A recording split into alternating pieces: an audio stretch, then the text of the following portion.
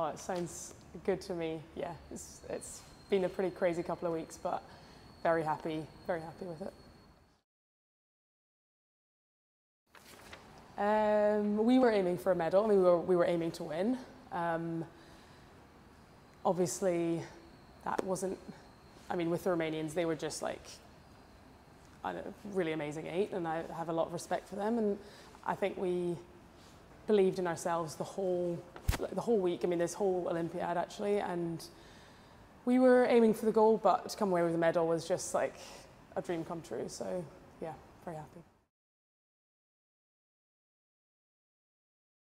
Yeah, the women's squad did absolutely amazingly the whole way through. Um, I think a lot of it came down to our coach, Andrew Randell, who came in uh, at the beginning of the Olympiad, and he just he just changed the squad, changed the program, but also changed the sort of um, ethos within the squad. He made it much more team-based, much less individual-based, and actually that made such a big difference, um, as well as increasing the training in every aspect of where he could find uh, more miles, more intensity, more weights, and it, it did the trick. So yeah, it's been it's been a great squad to be a part of for the whole Olympiad, and, and it's just gone from strength to strength each year, and come out with five medals this year was was just amazing. Well, I am the youngest of four children, and my parents both rowed and still row.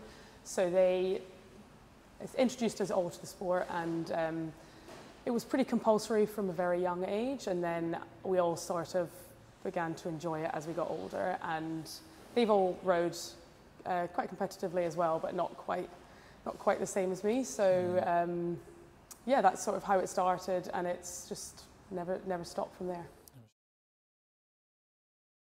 Yeah, I absolutely loved being part of the Scottish rowing team in at HIR. It was, it's definitely some of my like, fondest memories of, of rowing.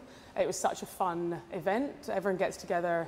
It's really nice to represent Scotland as well, rather than GB. And it was just like a, it was just a great team to sort of be part of, and a lot of honestly so much fun. Um, absolutely loved the HIR regattas. Great. Um, uh, I've thought about it, to be honest. It does look like a lot of fun. I've not tried it yet, and I'm not sure about the running into the water thing, but I think it could be fun. Yeah. I think I'd need to work on my running, um, but it does look great fun. Um, I'm not sure what is the next thing for me, but I'm still sort of making decisions at the moment, and hopefully, hopefully rowing in some capacity. I think for me, um, I would definitely say just keep going. I think I was never, um, it took a long time and a long time for me to make the British team, to then work up the British team. It didn't just happen overnight.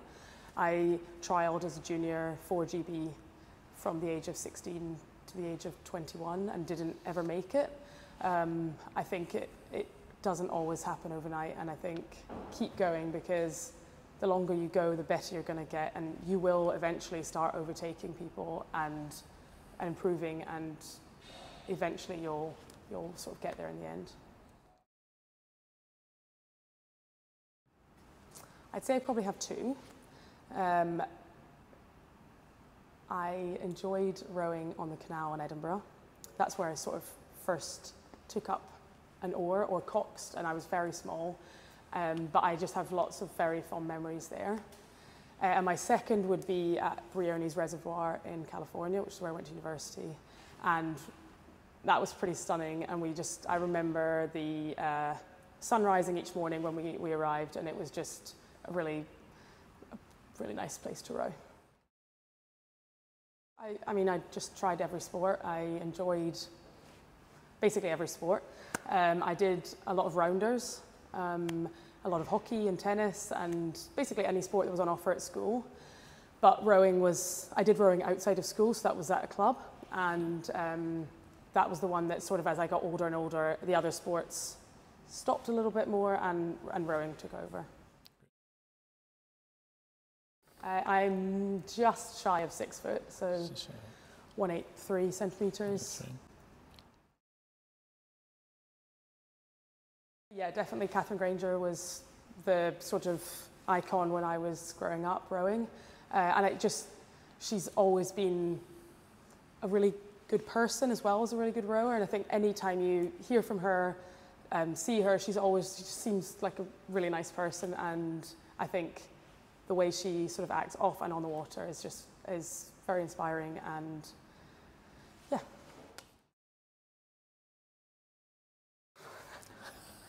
Favorite erg? I don't think there is one.